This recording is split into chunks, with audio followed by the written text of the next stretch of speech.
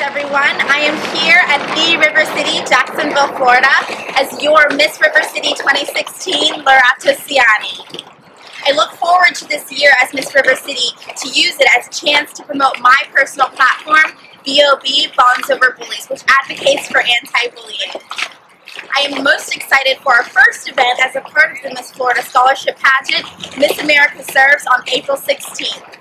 All of the contestants will be volunteering at the Florida Baptist Children's Home. I hope to see you at Miss Florida 2016 in Lakeland, Florida this June.